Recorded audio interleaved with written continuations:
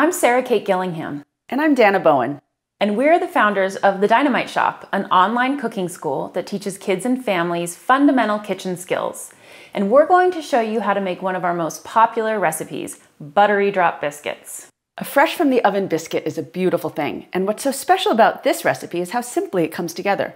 There's no kneading, rolling, or cutting out rounds. You just combine the flour, baking powder, and salt with really good cold butter and drop the batter in a pan to bake. And we like using Kerrygold's Irish grass-fed butter because of its higher butterfat content. Higher butterfat means less water, which means crispier, more flaky baked goods that rise higher. When we teach this lesson, it's all about the beauty of butter. So instead of serving with jam or honey, we double down and make a flavored compound butter to go with our warm biscuits. Let's show you how it's done.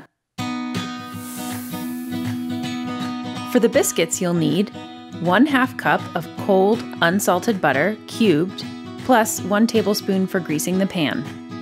Look at that bright yellow color. That comes from all the beta carotene in the grass that the cows are munching on. You'll also need 2 cups of all purpose flour, 1 tablespoon of baking powder, 1 teaspoon of salt plus a pinch for the top, and 3 quarters to 1 cup of whole milk. Make sure to preheat your oven to 450 degrees Fahrenheit.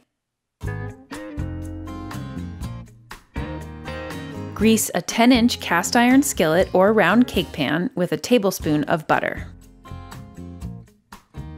Sift the dry ingredients together, then cut in the butter using a pastry cutter or two knives.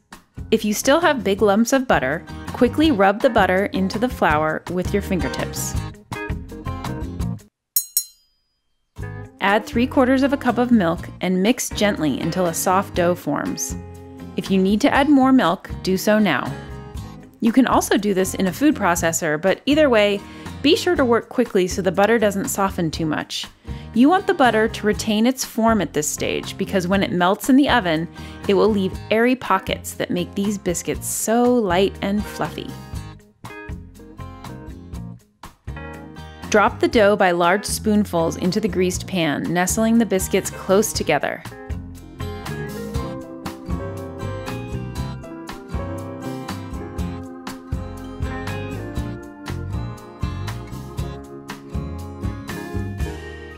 Sprinkle a pinch of salt across the top.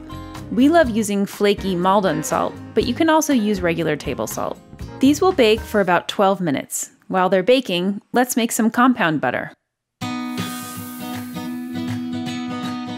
For the compound butter, you'll need 1 half cup, that's 8 tablespoons, of salted butter at room temperature, plus 1 tablespoon of flavorings like dry spices, citrus zest, and chopped herbs. This is a super customizable recipe. We're going to use parsley and dill plus a little bit of lemon zest for a really bright and fresh flavor. But you could also use spices like cinnamon, maybe even a little maple syrup for a sweeter, warmer taste. And don't forget other types of citrus zest, like orange and lime. Wouldn't lime butter be great on corn? All you have to do here is mix up some softened butter with your add-ins. Make sure it's not too soft. We use salted butter because that little bit of salt shines a spotlight and intensifies the flavors of the other ingredients. Form the compound butter into a log and wrap it tightly with plastic wrap or parchment paper.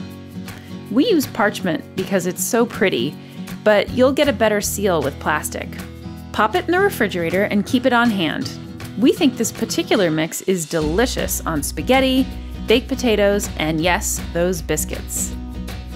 Speaking of biscuits, let's check in on them. See how the tops are a little bit brown? They're ready. These are best straight from the oven, but they will keep a few days in an airtight container or even frozen. But why would you want to do that?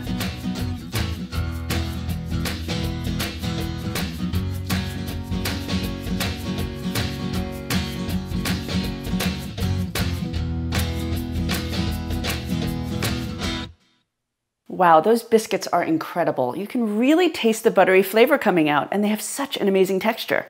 Yep, that is all about the butter and also not overworking the dough.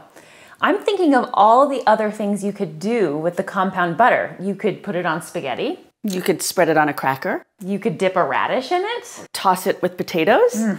Thank you so much for cooking with us.